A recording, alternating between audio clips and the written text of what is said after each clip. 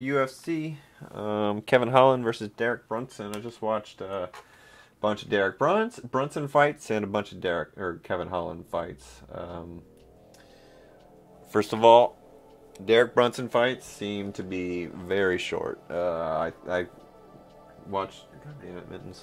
I watched three, and there was just a random three, and all three of them were knockouts. It was on UFC Fight Pass. Um, the TKOs uh, were, I mean, almost none of them went the distance or even far into um, the entire fight as a whole. And, you know, Kevin Holland, um, when I was watching him fight, you know, I noticed he definitely does like to strike and he does prefer, um, you know, landing the good shots, but I just didn't see him drop anybody or, um, you know, um, I mean, he looked pretty good, but against Derek Brunson, uh, who actually did do some knockouts, um, he just looked like more of a Kevin Holland looked more like a risk risk taker that didn't have the same level of uh, striking as everybody else. He just looked like he he liked to go for it. Um, and I mean, I do appreciate it. There was a fucking when he was fighting Thiago uh, Alva, wait, Thiago Santos.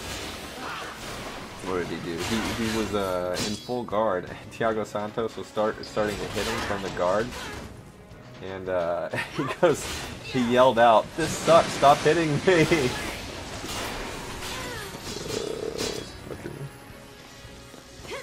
I wish uh, the camera picked that up more clear because um, you could you could you heard him yell during the fight, but it was inaudible um, just because the volume levels. And Joe Rogan, actually, the commentator for the fight, said that's what he said. So, anybody fucking that animated and wants to make it make it fun is is uh, I think fun to watch.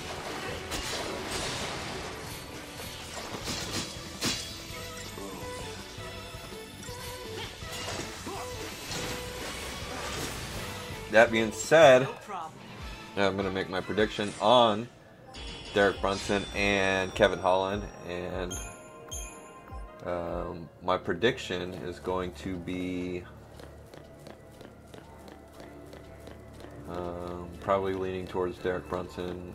And I think I'm going to guess. Oh, Kevin Holland did win it, uh, lose by submission. But I think. Um, Derek Brunson's going to get him by a TKO. I think Derek Brunson's going to be too much. And then uh, Kevin